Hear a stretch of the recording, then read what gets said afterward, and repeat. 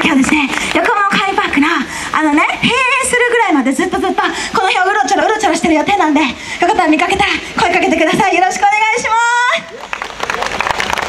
す。じゃあ最後の曲はですね普段の代表曲になってますのでよかったら1曲だけでも聴いてってくれたら嬉しいです。あれなかった。じゃあラストだよ。絆。